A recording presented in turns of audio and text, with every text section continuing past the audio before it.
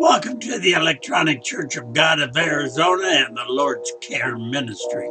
Today is May 1st, the second work day of the week, the day that on our calendar calls a Tuesday. The pagan calls it May Day, and where we, as a kid, they used, used to take us out on the playground and swing around the maypole and then all fall down. This kid's got a big kick out of that to fall down and roll around. The teacher never completed that, thank God. If you take a study, the pagans had it at May Day. They swung around the pole, all fell down and had an orgy right there. Don't believe me? Check it all out, and you'll find that is the truth. Well, brother, it is time to get right on over into the Lord Cares Ministry, a year to search for knowledge and truth, day 122 of the year 2012. Today's study is about faith, not emotion. Faith, not emotion.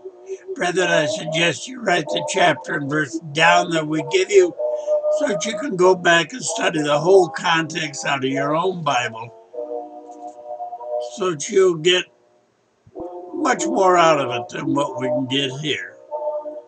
Brother, you can use the pause button down here in the corner to start and stop this little video study as we go along so that you'll be able to open up your own Bible, read chapter and verse right along with us. Well, with that, let's get right on over into faith, not emotion. To do that, we're going to go to Second Corinthians chapter 5 and verse 7. We walk by faith, not by sight. For a while, we are fully aware of God's concern for us. But then, when God begins to use us in His work, we begin to take on a pitiful look and talk only of our trials and difficulties. And all the while, God is trying to make us do our work as hidden people who are not in the spotlight.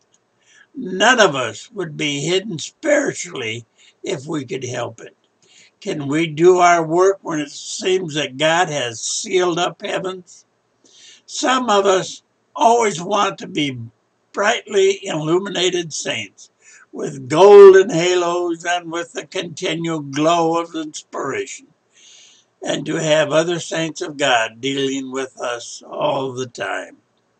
A self assured saint is no value to God.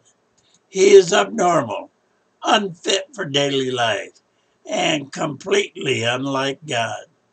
We are here not as immature angels, but as men and women who do the work of this world. And we are to do it with infinitely greater power to withstand the struggle because we have been born from above. If we continually try to bring back those exceptional moments of inspiration, it is a sign that is not God we want we are becoming obsessed with the moments when God did come and speak with us, and we are insisting that He do it again.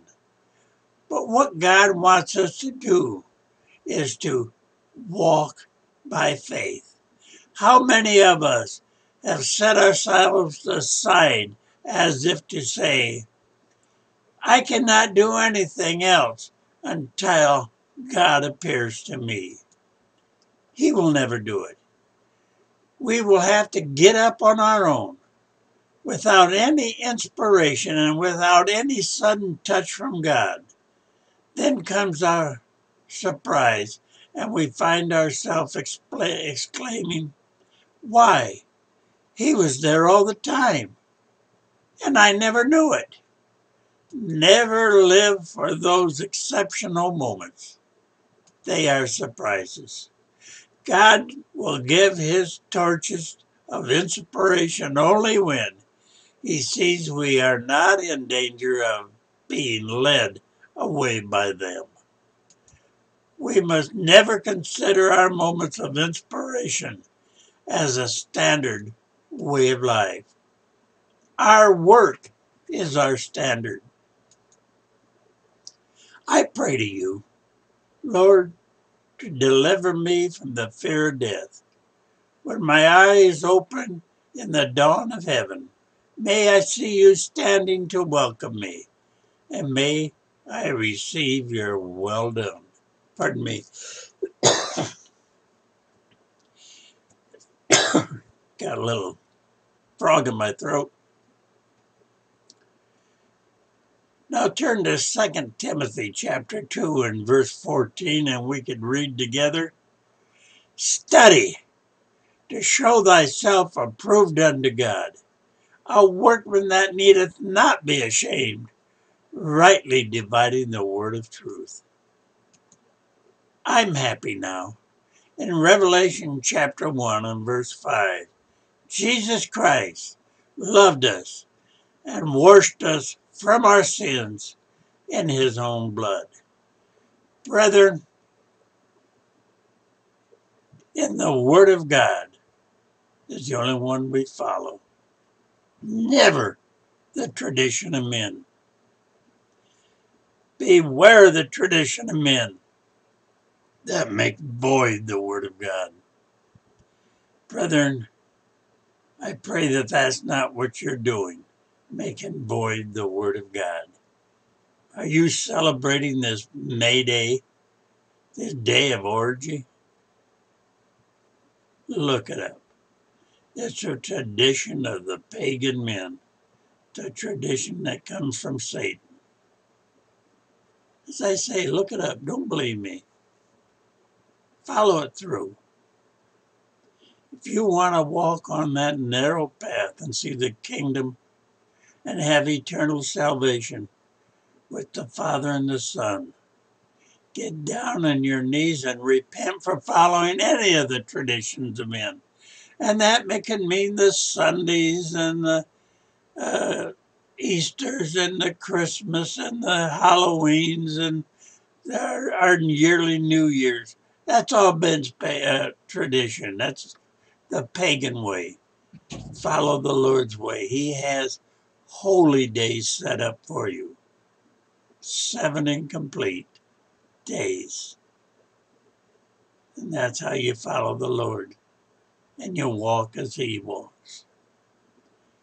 Brethren, while you're on your knees and asking the Father and the Son to bring the Spirit within you to drive away all doubt, to strengthen your faith, also ask the Father to give you the wisdom, the knowledge, and the understanding of that love letter he sent to you. And that love letter is your whole Bible from the end of Genesis to the Amen of Revelation.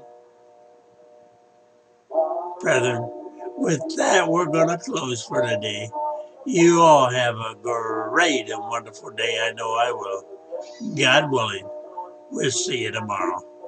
Bye for now.